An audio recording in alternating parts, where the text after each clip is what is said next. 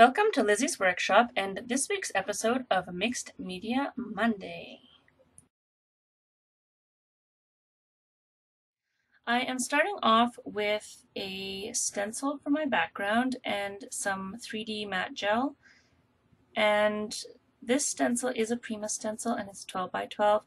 So this is a really large canvas. And each time that I took the stencil off, I went and washed it because I was being a little bit finicky with the background. And I kind of wanted a little bit of a perfectionist start point. So I went through and made sure that all of the um, canvas was covered in a nice thick layer of the uh, matte gel and that's going to give it like a 3D effect of a cracking wall in the background. And if you notice how I keep the gel nice and thick on there, that's because I do want them to be nice heavy cracks in the canvas. The next step I'm going to do is cut some ribbon and the reason I'm cutting this ribbon is that I have three little buckles that I want to put on there as kind of a basically like a title bar. I'm not putting any words on this canvas um, just separately. I'll put some um, metal elements on it that have words in them but um, I wanted to kind of create an eye, eye line or a sight line across the top of the canvas. So once I thread the ribbon through the buckles, I grab my 3D gel again and I put it in this little container so that I don't have my big container open for long periods of time. Um, and then I just kind of glue it down in a couple spots. And one of the problems that I had with this part of the project was that the ribbon stretched. As soon as it got a little bit of moisture in it, the ribbon stretched and buckled and I had to wait for the ribbon to dry for it to go back nice smooth and tight. So every time I would, you know, retighten it, it would just go loose again because of the, the give of the ribbon. But it worked out. I got it all figured out. The next thing that I'm going to do is I'm going to grab this old piece of lace and I'm going to cut it in half because it's just simply too wide and then I'm going to um, shred it a little bit and rough it up a little bit so it looks more like a mixed media piece of lace and then I'm going to put some matte gel all along the edge here in a nice thick layer and grab one of those pieces of the lace and put it on there.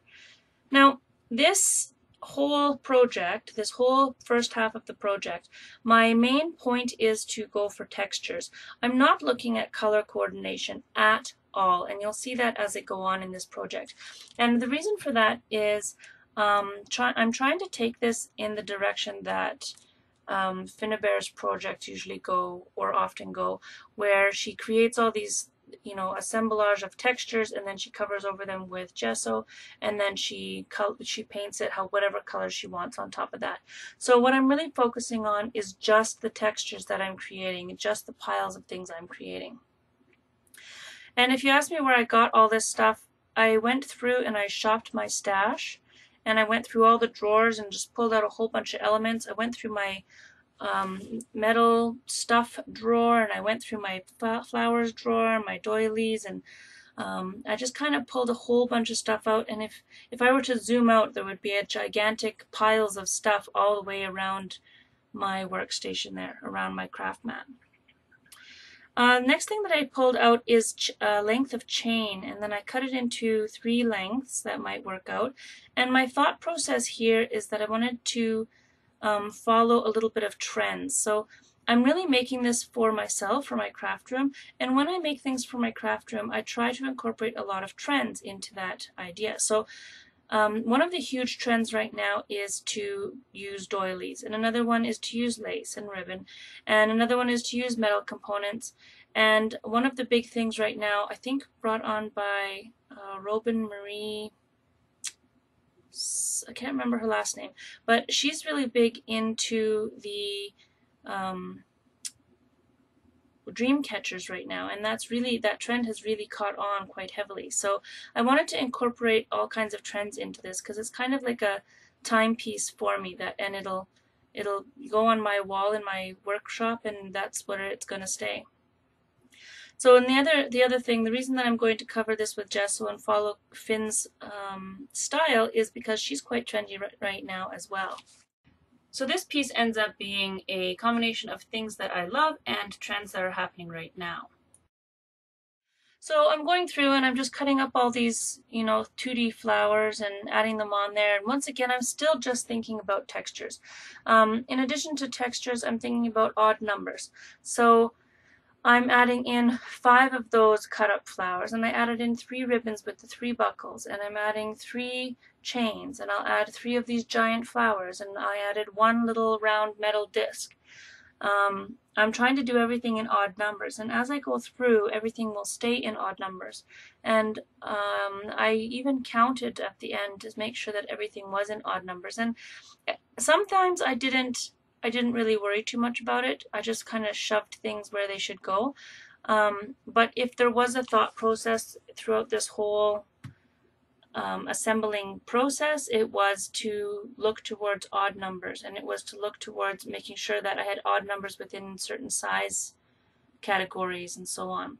So there'll be three of these purple flowers dispersed across there and there's three of the giant roses and and um, I didn't count these little flowers but within each group or within each setting cluster there's going to be an odd number of them within those.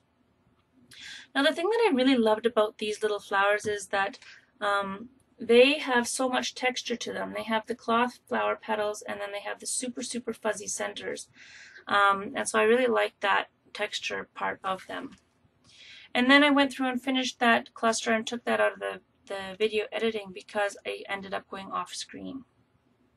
The next thing that I'm doing is I'm adding metal elements and um, some of these are just within my stash. Some of them are leftovers from a class I took with Finnabair. And um, some of them are new elements. Like all those shiny little willow leaf shapes to the left of the canvas there. Those are um, from my dad's garage, actually. Um, Finnabair in her class, she said that it's really neat to go through um, old people's or other people's garages or your own garage or to go through and look for for textures and shapes and things that you wouldn't normally have in your own space but going and and going antiquing or looking at garage sales or you know going to the little the little old thrift shop and the hardware store and all that to look for things that would be unique within your project. So I went into my father's garage and in there I discovered that he runs an online fishing tackle shop. And so I stole a whole bunch of his fishing tackle, well, with his permission, of course. So I stole a bunch of his, uh, the components for making fishing tackle and added them to this because those, I love those willow leaf shapes. Later on, I'm going to be using the little um, hooks, the little assembly hooks that you would use to to put your hook on, or I guess they're leaders or something, where you, they're used to put the hook onto the uh, fishing line. I use some of those. Um, for feathers for my dream catcher, I'm going to use some of the larger fish hook shape um, things, the spinner blades and I just kind of keep going on. So like I said, I have piles and piles of stuff all around my little workstation there, and I'm just adding as I go. I'm really not thinking about this. I had my music blaring and I had everything sitting there, and I just kind of kept grabbing you know different sizes of things and shoving them wherever they wanted to fit sometimes things didn't didn't go where i wanted them to but um, otherwise i just kept shoving things in there so then i've got some buttons in there there's there's lots of everything. There's a little bit of wood. There's a little bit of plastic. There's a little bit of metal. There's a whole bunch of fabric. There's all everything's in there. Now this is another fishing combination. Um, these are for making flies. They're also used in jewelry making. So I threw some beads on there, and that's going to add a 3D dimension to this piece as well. And if you can guess how many of those are going to go on there, it's right, three. Always an odd number. I thought of five, but it was getting to be too much, so I just put three on.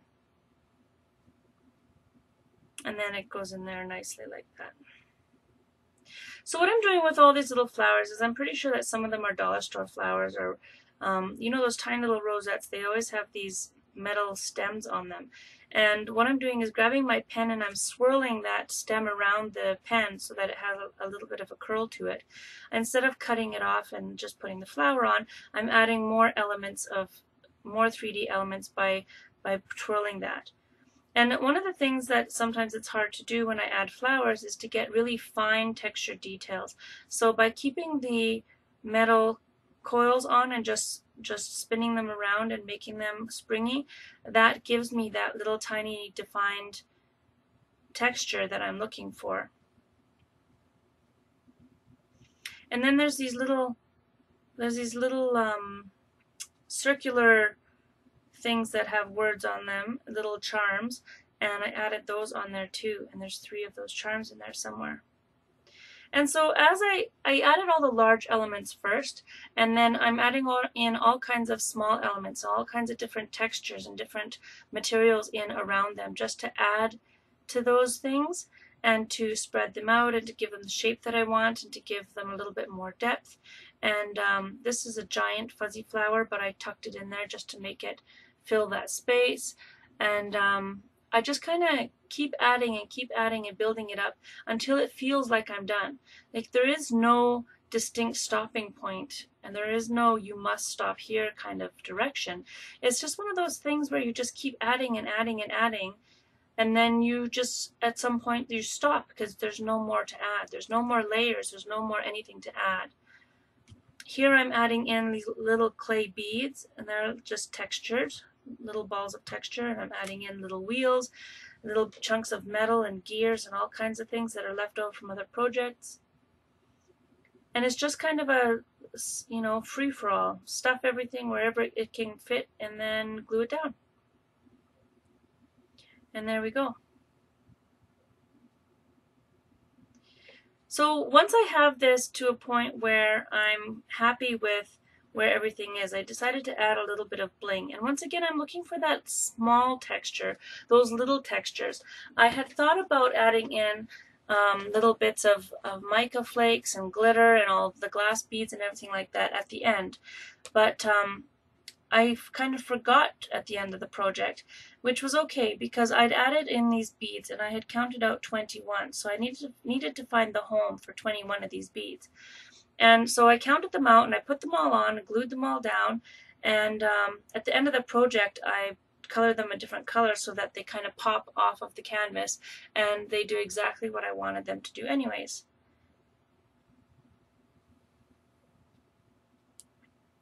So now what I'm trying to do is add the giant willow leaf spinner blades to this to the chains to act as feathers. And I've got one that's really textured, I've got one that's silver and one that's bronze. I hadn't I hadn't decided what I was going to do with them, if I was going to paint them or what was going to happen with them. Um, and so I just kind of like attached them together and, and kind of let them dangle. And I really wanted to um, have this grow outside of the canvas. So I allowed these to hang down like a dream catcher where they, they hang below the level of the canvas. And then I, once those were on, I felt like this canvas was finished. So I went through and took some pictures of what it looks like. And once again, I really didn't pay attention to any colors because my intention was to cover it up with gesso. So as I go, I just kind of kept going and going until it was at a point where I could leave it. Now, I could have left this exactly as it is, just like this, but I wanted to go that extra step which was a little bit intimidating because I love all the abundance of color in this piece and would have been quite content hanging it on my wall just like this. But I decided to take that extra step and to go the extra distance and cover it in gesso. Then the choice, white gesso or black gesso, so I flipped a coin, it came up tails, so it was black gesso. And that's the direction that I went. So I am sorry if this makes you dizzy. I had to fast forward this 10 times, um, make it 10 times fast, and then chop a bunch of pieces out just to get it within the 30 minute time frame. And this is the easiest place for me to do that because it's not all that interesting watching me paint. So the thing about this is that I had decided that I wasn't going to spray this canvas. I had decided I was just going to cover it in gesso. So I needed to make sure that I covered as well as I could. So I did have to have like a really thorough heavy coverage so that not all of the other colors would pop through or come out or anything like that. So I used the big fat heavy brush to get a nice thick layer and then I went through again with a smaller brush. This was a really long process as well. Um, this is probably the most tedious of the entire thing because you do want to get everything colored covered in black. And I'm one of those people who doesn't normally gravitate towards black and find it a little bit of um, a direction I wouldn't commonly go.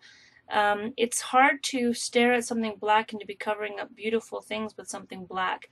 Um, even though I knew that in the end I would absolutely adore this project, I did I, I did mourn the colors of the flowers just a little bit. So as I go, I'm just starting at the bottom of each of the flowers and each of the layers, and I'm going underneath layers, I'm going over top of layers. Um, as I go over things that are written, I make sure that I don't fill in the grooves with paint so that they're nice and smooth. I still want to be able to read things. That little plate, little bowl, has some details in it that I wanted to still see. And um, I definitely didn't want to glop it on so much that the details would go away from things. So really what it is is I'm just putting on a layer so that it will accept the paint layer as well and so that I can create this this bit of um, you know uniformity from one side of the canvas to the other side of the canvas. And so now I'm trying to do this chain and you know painting a chain is really difficult to do and it's tedious because you have to do it over and over and over again if you want to be a perfectionist. So the every time the chain moves, metal grinds on metal and takes away any space that you had painted. So it bares the metal every time the chain moves. So I tried really hard not to move the metal a whole lot throughout this whole process, but I did have to end up painting the chain probably three or four times in order to achieve a black chain. One of the nice things about mixed media is that you don't have to be a perfectionist. Um, you don't have to have things perfectly straight. You don't have to have things perfectly balanced because it's a it's an expression of art that um, doesn't have rules really. So then once I'm I'm done all of the stuff, all of the gesso, I let it relax and I let it dry overnight. And I came back in the morning and grabbed my paints and the paints that I chose to use were the Silks paints because I wanted a little bit of a metallic um, shine to this. And so the first one that I grabbed was my darkest color, and that was Vavoom Red.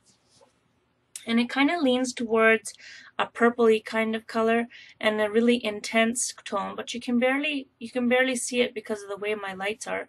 I can see it, I can see the color in it, but it's hard to see it on camera to see what kind of shine that purple has. So I'm starting with the backdrop and I'm starting kind of with the base layer and then I'm just kind of going throughout and, and tinting elements with different colors. And this is one of those things where I just kind of started with one element and went one color at a time and covered up all of that same element with that one color. Um, I had already balanced out elements and textures so I didn't have to think about that anymore. I just had to find the elements.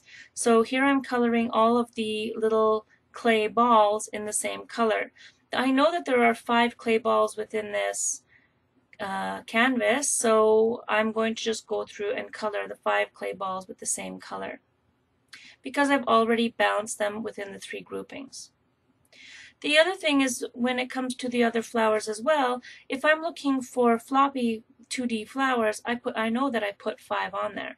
When it comes to the giant roses, I know that I put three on there.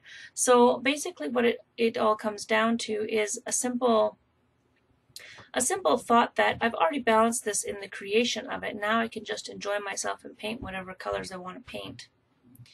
So the colors that I've used, I've chosen five colors. If this was a smaller canvas, I probably would have only chosen three colors. But because this is a large, large canvas, I chose five. So they're all silks, which is an acrylic glaze. I started with Vavoom Red, then I went to Pink Anthurium, then uh, Pretty Prairie Dot, which is the green. Uh, the next one's going to be African Jade, and it's a blue. and the last one's going to be an iridescent red. And then I do flip back through them and add a little bit more green in at the end. And I do flip back through and add some more purple in the end and, and a whole bunch more pink. So just because you've you've put the lid back on your paint doesn't mean you can't go back to it. Or just because you put your brush in the water doesn't mean you can't go back to it. I always make sure that I have enough brushes on hand that um, I can add, you know, I can put them in the water as often as I want. Now at the end of my projects I end up with a bucket full of brushes, but I don't have any contaminated paints and I don't have any contaminated project. So I went and as I was painting, I took the three dominant colors, um, the pink, the blue, and the green, and I used those to color the feathers for my for my um, dream catcher. And you know, once it was hanging on my wall and I, I keep looking up at it, it often, it actually reminds me more of a grandfather clock with the weights hanging down than it does the dream catcher. So even though I created it with a certain thought in mind, um, it'll still inspire me to create other projects later on. So I, if you notice, I'm not actually painting with this. I'm just putting some color on the brush and then skipping it across the top to create, to get the, bring the textures out. I don't want to bring the individual items out necessarily. I want to bring the textures out. I want to make the textures pop with color. And so I'm basic, that's basically what I'm doing. Right now I'm going through and I'm finding all of the sunflower type flowers and I'm just filling them up with the blue paint going around and around to bring out the black highlights of them and the black centers of them. And the centers are still wet with black gesso, so I am getting a mix of the black in there as well. So then I'm going to go over and um, I put this paint on here with like really thickly. And the reason that I did that is I wanted that to have texture and shine and character as well. And once it, we get to the end, it really, really does have end up having that. One of the things that I did with the blue is I went around and I colored in things that were metal elements and that really made them pop. Now, I didn't know what color this was going to be. It said iridescent red, and I was kind of like, okay, well, it's going to shine red. It doesn't shine red. It shines this beautiful, beautiful pink. And once I started putting it on there, I thought, hey, this is going to be my contrast color. Instead of putting on a white gesso to, to contrast against the black, I'm going to use this really powdery pink kind of color for that. And in now and knowing that this comes out this color, I know how I can use it on other projects as well. And so I did use it to create a smidge of a border along here and a little bit of a boundary so that your eye does stay within even though it wants to follow down and look at the feathers it's going to come back because I've created a box for your, your eyesight to stay. So then I'm trying to highlight the words there, but it's not going to work. I'm going to have to add another color, darker color on top again in order for that to follow through and become what I want it to be. If I were just to, if you were to ask me what my favorite color was from this set, I would have to say it's the pink anthurium. I absolutely adore pink, and um, I often wear pink. I often have pink in my hair, and it just, I don't know why, but it seems to be my color of inspiration. And so I really wanted to bring those big plush pink flowers back. And I wanted them to be this really bright shiny you know iridescent in your face kind of shiny glimmery thing. So I ended up adding um, skiffs of this uh, pink paint to them. And I ended up going over it about three or four times just to make sure it was nice and thick and heavy. And as I was going through I couldn't decide what my favorite colors were um, if I had to pick one so I had to decide, okay, well, it's got to be the pink. And I was going to make all of the leaves the same color, but decided that I loved all three of them and we needed some more balance. So I pulled the color, three main colors from that big set of, of elements and pulled it down into the feathered ends. Now, this is kind of missing an element in here, and I'm thinking about it as I'm painting. And so I go back to the dark purple and I'm pulling out all the little elements of dark purple. And sometimes where I've added too much of that iridescent red, I'm going through and adding some of this dark color in order to balance out all of that bright, bright um, iridescent red. So once I've got, once I seem like I'm balanced, I go back through with the green again, and anything that I had colored originally in green ended up getting skipped over with other amounts of color. So I went back through and colored those elements green again, especially because they were such fine detailed things, like all the little coils from the roses and, and things like that. And the little metal um, willow leaf shapes as well, the fishing tackle. I painted that art sign probably 15 times, or at least once with every color, because I just simply could not decide what color I liked it in best. And the combination of colors turned out to be exactly what this piece was looking for, and it all worked out in the end anyways.